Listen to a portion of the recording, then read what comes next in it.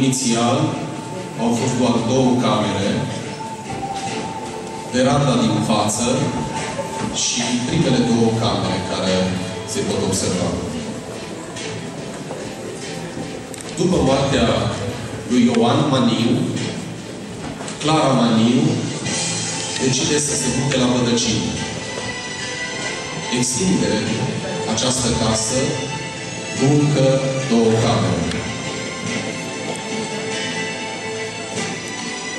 Aici, în această cameră, se afla biroul lui Iuliu Maniu.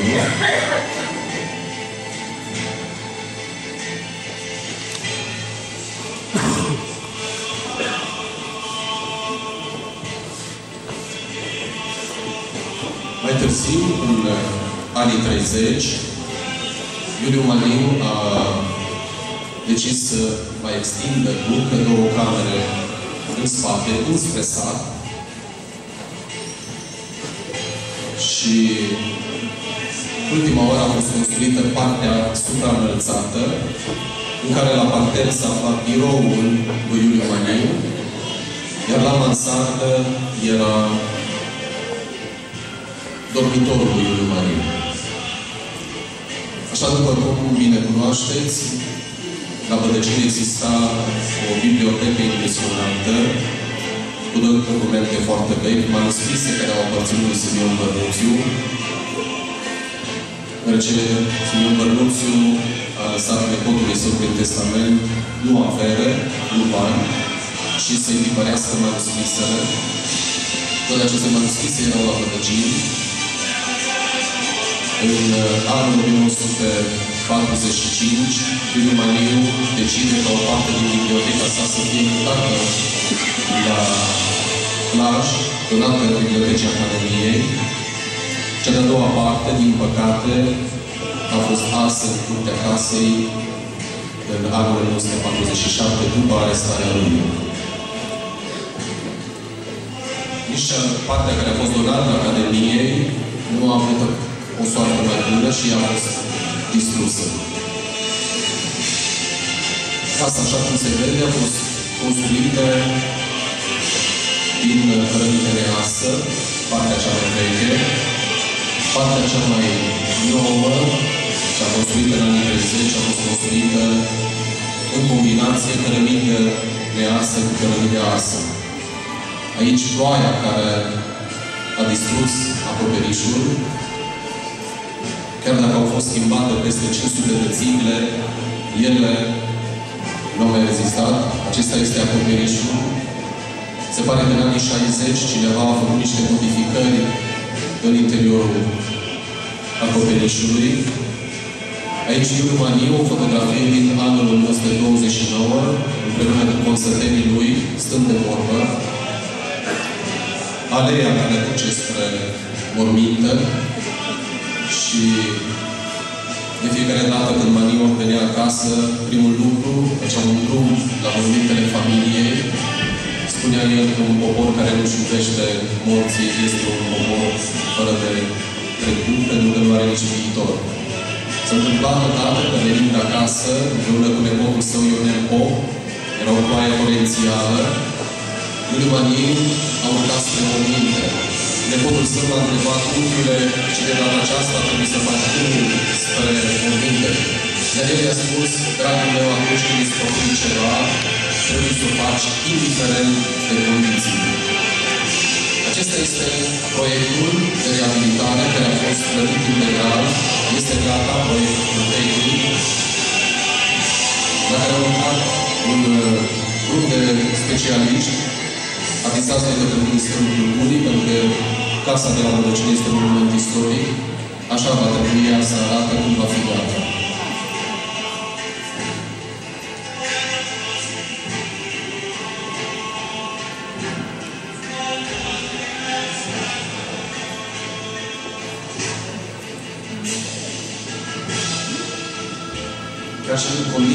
Condițiile în care ea se află astăzi, sunt foarte mulți vizitatori, iar acest lucru demonstrează că alături de alte case memoriale, poate fi introdusă în circuitul muzeistic. Iată cum putem sprijini reabilitarea casei, care, așa cum spuneam, are, are proiectul tehnic. Gata și așteaptă finanțare. Vă invit pe doamna Valeria Lehene să ne spună câteva lucruri.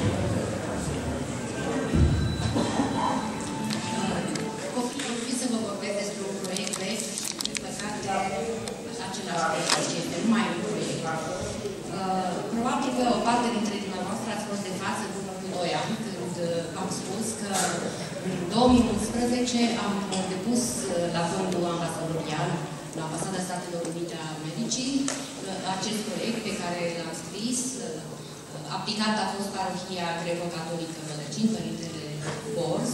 Am avut în echipă pe Marin Pop, Cosmin Pop, al satului Bădăcin și am scris acest proiect tocmai în ideea de a reuși să obținem o finanțare pentru restaurarea conacului de la Bădăcin, pentru a înființa acolo un muzeu dedicat Maniu, așa cum este normal în Casa Memorială lui Maniu, și pentru a înființa acolo un centru cultural destinat tinerilor, pentru că Părintele Bors desfășoară o grămadă, o multitudine de activități cu tinerii și pentru că Iuliu Maniu și-a dorit ca acolo, la, în Conacul de la Bădăcini, să fie instruiți tineri. Ehm, din păcate, vă spun că acest proiect nu a fost finanțat. Presupunem acest lucru pentru că nu a fost anunțat niciodată că proiectul nu este câștigător, dar n-am aflat nici alte informații despre proiecte câștigătoare din 2012 încoace din acele fonduri. Îmi pare rău că vă spun că este tot numai un proiect, că nu s-a avansat. Asta nu înseamnă că noi nu am făcut nimic între timp, am încercat să identificăm fonduri, să ne ocupăm de proiectul tehnic, care, așa cum v-a spus Părintele, a fost finalizat. Am făcut tot ceea ce am crezut că se poate face, dar, așa cum v-am spus, este doar un proiect. Îi mulțumim, doamne Valeria Lefele. Partener în activitatea noastră, așa cum ați văzut, este Centrul de Cultură și Artă Săraș. Este reprezentat astăzi, aici, fost alături de noi, domnul director Daniel Săvca, pe care îl invit să ne spună câteva cuvinte. După un asemenea program și după atâtea discursuri, cu siguranță vreau să vă rețin foarte mult. Luați mesajul nostru în fiecare an, am fost alături de dumneavoastră. Suntem în continuare pentru că printre multe lucruri în care credem este și acela al valorizării istoriei județului Săraș. Iar aici, la Bădăcin, aveți o valoare extraordinară, Iuliu Amiu, pe care încercăm și noi cu ce putem să o punem în memoria contemporană. Fiul al satului Bădăcin a, copilă, a copilărit la Bădăcin, s-a recomandat nu odată ca fiind umanist sau urmașa lui Iuliu Maniu. Este vorba de domnul Septimiu Cătălin Țurcaș, pe care îl invit să ne spună câteva cuvinte, nu ca și primar al orașului și județului Armeniei, ci ca fiul al satului Bădăcin. Mulțumesc prin surprindere. Onorată asistență, vă mărturisesc în calitatea pe care o am de primar al școlilor, am fost în foarte multe locuri din lumea asta. Dar n-am fost niciodată așa de emoționat precum sunt astăzi, pentru că uitându-mă pe scenă, mi-am derulat oarecum copilăria pe care mi-am petrecut-o în acest sat, la modul cel mai serios, acum în calitate de mădăcinan și în numele dumneavoastră vorbesc acum, să-i mulțumesc uh, Părintelui Cristi și doamnei profesoare Bors, pentru că, fără nicio exagerare, cred că ei sunt uh, motoarele uh, redeșteptării mădăcinanilor. Din păcate,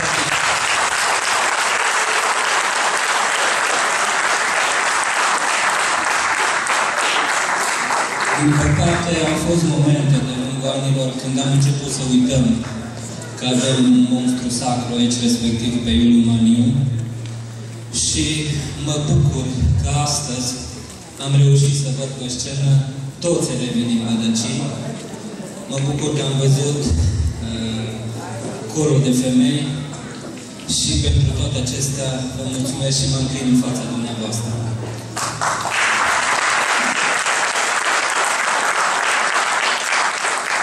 Să știți că întotdeauna am fost mândru că am crescut și am copilărit aici, m-am căsătorit aici și mă simt, uh, cred că, mai mult bădăcinan decât din altă parte și este un lucru cu care mă mândresc.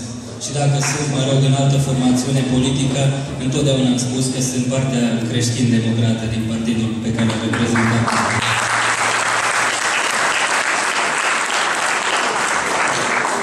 Aș avea foarte multe să vă spun. Ehm, aș lansa o provocare. Din păcate, indiferent că județul acesta a fost condus de țărăniști, să spunem cu adevărat, sau de pesediști, mai apoi nimeni nu s-a gândit că există Casa Iuliu Maniu. Și provocarea pe care o fac eu astăzi și o transmit prin intermediul dumneavoastră celor care, mă rog, sau prin intermediul televiziunii este următoarea. Dați toți banii care vin spre Consiliul Județean din partea salariaților din Șimeu, adică în medie 2 miliarde și jumătate pe lună, ori 12 faceți dumneavoastră socoteala și dați banii aceștia pentru Casa României. Doar din ceea ce vă vine din Șimeu, pentru că oricum nu se întoarce nimic înapoi. Și atunci putem să ne bucurăm împreună, într-un an sau doi, că acest proiect este finanțat de către noi, din cu ajutorul și noilor de către Consiliul Județean. Nu mai trebuie să încercăm alte manevre, pentru că lucrurile pot să fie simple, iar suma de 350.000 de euro, credeți-mă, este o sumă foarte, foarte mică pentru un județ. Dacă spunem că ne respectăm valorile și oamenii care au fost în istoria acestui județ, haideți să o facem real în numai cu povestea. Vă mulțumesc foarte mult! Vă felicit!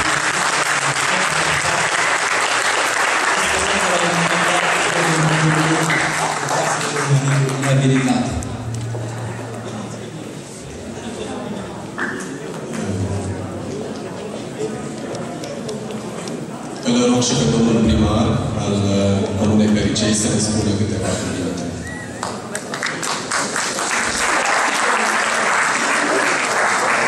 Dragi băciniani, stimați oaspeți, în prima fază am refuzat să țin un discurs, dar așa e bine și așa că de mine dacă să aducem mulțumiri Domnului și celor cei care au pregătit uh, spectacolul și toate prezentările în sosit de astăzi.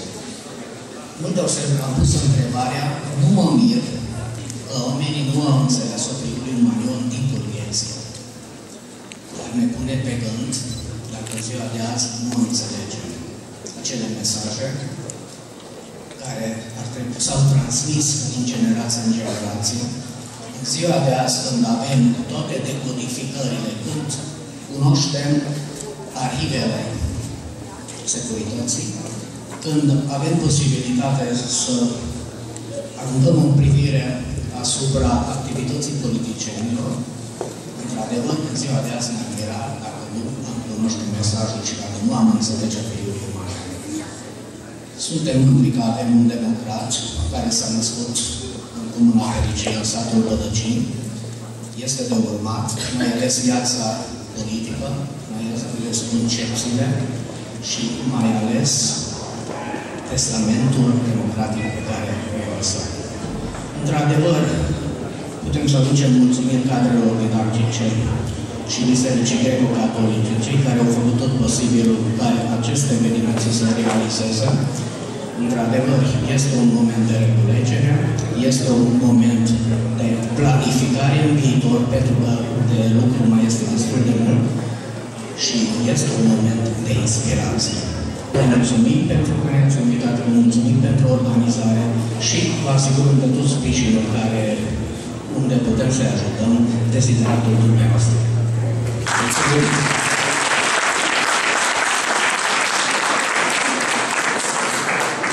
A știut mereu că în jurul datei de 5 februarie se organizează ceva la Bădăcini. Și a fost prezent în fiecare an de cel puțin 12-13 ani încoace. Este vorba de domnul doctor Liviu Gârbea, pe care îl rog să ne spună câteva cuvinte.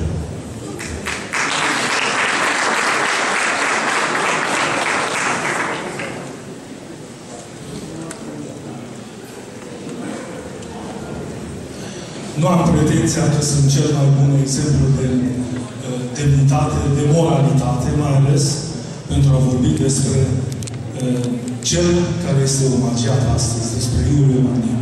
Să meritați totuși în răznara, am să încerc să încerc să o fac cu toată recența și cu toate păcatele unuia ca și mine și care am trecut și eu prin, ca și dumneavoastră prin diverse vremuri.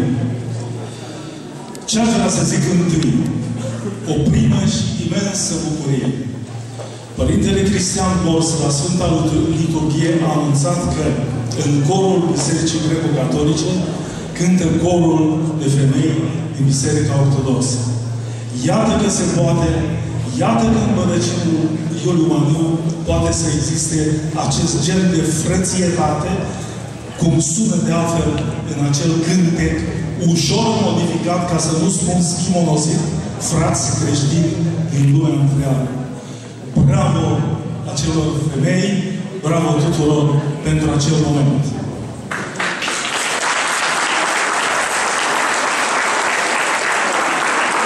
De altfel, ce-am promovat eu Și acum, să mă rezum foarte scurt la ceea ce m-am gândit să transmit cu modeste putere. Haideți să ne gândim ce au mai, ce a mai rămas din idealurile lui Iuliu Mâniu. Și am să spun vreo două, trei lucruri, fiind convins și știind faptul că nu poți dobândi, nu poți obține admirația generală și nici aprobarea universală. Ca atare îmi asum riscul de a-mi face uh, chiar neprietenii, ca să spun așa, dar totuși sper să găsesc stropul de înțelegere. Din cele, din cele patru idealuri percepte ale Partidului Național Român și a doctrinei creștin-democrate, și anume integritatea teritorială și națională, patriotismul luminat, dreptatea socială și moralitatea creștină, haideți să ne întrebăm ce a mai rămas din toate acestea. Aș încerca să fac un ușor spirit de glumă. Haideți să încercăm să ne gândim ce s-ar întâmpla dacă cele 10 porunci astăzi ar fi trecute prin Parlamentul României. Care ar mai rămâne din cele 10 porunci? Nu cred că nu s-ar găsi pentru fiecare dintre ele o ordonanță de urgență pentru a fi modificată. Și acum, integritatea teritorială și națională. Ce a mai rămas și din acest ideal? Trec repede dincolo la patriotismul român. Păi, în timp ce liceul Lucian Blaga este decapitat, liceul din Tiraspol este decapitat, este arestată conducerea ei, în alți demnitari ai noștri uh, nu știu dacă fac bine ceea ce fac acum, dar așa cred. Se duc să dea mâna cu cei care țin încă cizma pe o parte a acestui neam. Dreptatea socială. La acest moment o să încerc să mă folosesc de o vorbă a lui Iuliu Maniu, publicată în octombrie 1922, cu ocazia uh, unei scrisori adresată regelui Ferdinand pentru, a, pentru a-și a-i transmite refuzul de a participa la întronizarea de la Alba Iulia. Ce dreptate socială când eu vorbesc ce s-a întâmplat atunci. Dacă credeți că seamănă puțin cu ceea ce astăzi, fiecare poate să aleagă. Este permis ca cei care au stors avuția țării, canalizând-o în teșghelele lor de cămătare, sărăcind astfel un neam întreg de muncitori să meargă la drum, uh, alături de rege prin mulțimea pe nedrept roamă. Și mai face referire la ceea ce s-a întâmplat cu administrația românească, totuși, de dincolo de Prut. Sunt foarte multe drame pe care ni le reproșează și astăzi acei frați ai noștri cu care noi întâlnim. Ei, acest gest pe care l-a făcut Iuliu Maniu și Ion Mihalache în 15 octombrie 1922 de a nu merge la Alba n-a fost uitată niciodată de rege. Dar Iuliu Maniu a rămas în picioare, a rămas drept și a știut că comite un act de demnitate națională. Pentru hoția și pentru cele ce s-au întâmplat la alegerile din martie 1922. Ceva asemănător cu 20 mai 1990. Și ultima chestiune legată de cele patru percepte este morala creștină. Iuliu Maniu, după cum bine știți, n-a fost nici măcar căsătorit. A sacrificat totul la nivel de viață personală pentru idealurile lui. Păi se întâmplă și astăzi același lucru când fost prim-ministru a avut cel puțin șase muieri, cum ar zice un cunoscut realizator de televiziune. Când vorbim despre Iuliu Maniu și și o fac cu și cu păcatele pe care le am, poate că nu e totuși rău să ne gândim ce am semnat el. Și iată, însemnătatea acestui om se reflectă inclusiv în numărul celor care sunteți prezenți aici. Și aș încheia folosindu-mă pentru a măcar a scăpa de a, de a fi atacat sau de a fi uh, contrazis la nivel personal, nu folosesc de autoritatea morală a poetului pătimirii noastre, Octavian Gură.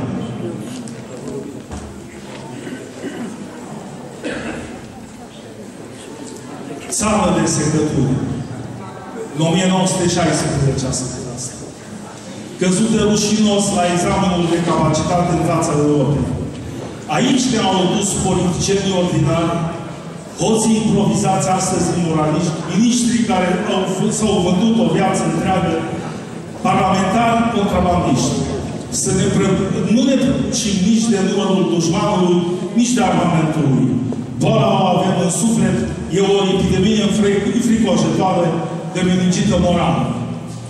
Și, ca să fac ultima precizare, cu scuze și pentru asta, a pomenit și domnul primar Septimiu Țurcaș și doamna Valeria Lehele de suma care este necesară pentru reabilitarea casei Iuliu Marin. Este a 10-a parte, sau mă rog, calculând mai un pic mai exact, a 8-a parte din ceea ce s-a oferit unui avocat pentru a truca o licitație legat de transportul cărbunelui de către CFR Marfă în zilele în care ne aflăm acum, haideți să ne gândim fiecare cu trecutul lui, cu păcatele lui, ce putem de remedia din asta. Pentru că toți dorim să schimbăm toată lumea, dar să nu începem cu noi înșine. Dacă cumva am nesocotit anumite lucruri sau am, am exagerat într-o uh, afirmație, puneți-o pe seama faptului că eu nu sunt un om calificat în probleme de istorie.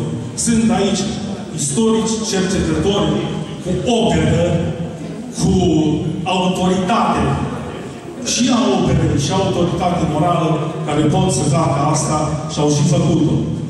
I aduc și pe această cale un, o mulțumire Uh, profesorului Marin Pop, instituție din care face parte muzeul și tuturor celorlalte instituții pentru eforturile pe care le fac pentru ca aceste valori să rămână eterne. Și chiar dacă obosesc, tot mai spun o dată. A avut dreptate când astăzi la biserică directorul Centrului de Cultură, Daniel Silca, a afirmat avem prea puține valori ca să nu avem grijă de ele. Dumneavoastră, toți cei care sunteți aici, încercați să aveți aceste griji. Și înainte, chiar de a un punct, mai spun un singur lucru. Ceea ce am afirmat și astăzi și în alte ocazii, dar mai ales astăzi, având o anumită vârstă, mă simt obligat să cred că orice întâlnire poate să fie ultimă. Haideți să punem suflet de la suflet acum, așa cum și astăzi au pus cele două biserici și cele două comunități din Băgătăcini pentru a, pentru a se întâlni într-o omagiere a lui Iuliu Manin. Iuliu Manin este al tuturor. Vă mulțumesc! Înaintașii noștri, care cu multă onoare ne-au produs, au, din păcate, casele în care s-au născut, în exact aceeași stare jală. Din păcate, generația mea, generația născută după anii 50, avem acest uh, handicap de a nu putea să trecem peste aceste nerealizări. Nu ne-am dedicat de o justiție care încă se mai zbate să facă dreptate acestor mari bărbați ai țării. S-au reconcedat atâtea bunuri, uh, dar în acești doi oameni nu ni s-a putut face dreptate. Sperăm din tot că în anii care vin se va realiza și acel lucru și Casa Memorială de la Bădăcini, a lui Iuliu Mariu, va putea fi recuperată care să le arate tinerei generații și ne-a făcut Iuliu și ce a făcut el pentru țară. Eu vă mulțumesc pentru răbdare. Mulțumesc celor trei consilieri locali, domnului Gheorghe Războane, Călin Pop și Tudor Pop, pentru implicarea lor în realizarea acestei activități. Mulțumesc în mod special domnului Valentin Bărtovan pentru sprijinul acordat, ansamblului Silvania, care a fost alături de noi. Speranța că v-ați simțit bine astăzi la Bădăcini. Vă mulțumim pentru participare. Mulțumim pentru răbdarea pe care ați avut-o până la această oră și vă așteptăm cu mult drag de fiecare dată în